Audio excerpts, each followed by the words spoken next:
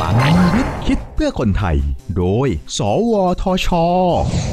ตอน T-NET Box ป้องกันการทุจริตในการสอบ ในการสอบคัดเลือกเข้าเรียน หรือทำงานในหน่วยงานต่างๆ เรามักจะได้ยินข่าวการทุจริตการสอบ โดยใช้อุปกรณ์สื่อสารมาเป็นเครื่องมือในการทุจริตนะครับ โดยมากมิจฉาชีพจะดัดแปลงโทรศัพท์เคลื่อนที่รีโมทคอนโทรลหรือสร้างอุปกรณ์พิเศษที่มีขนาดเล็ก พกพาสะดวก ให้ผู้สอบพกเข้าไปค่ะ ตรวจค้นยากอย่างนี้จะป้องกันกันยังไงดีล่ะคะเนี่ย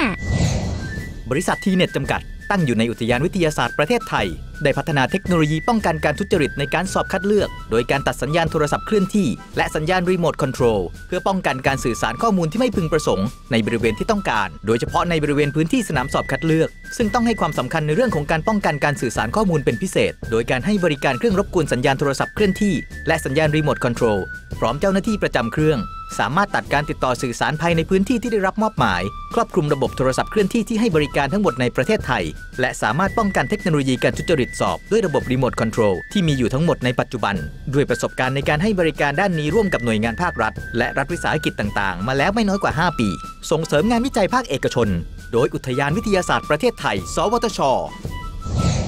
พัฒนาคนด้วยวิทยาศาสตร์ พัฒนาชาติด้วยเทคโนโลยี สอบถามรายละเอียดเพิ่มเติมได้ที่ สวทช 02 564 8000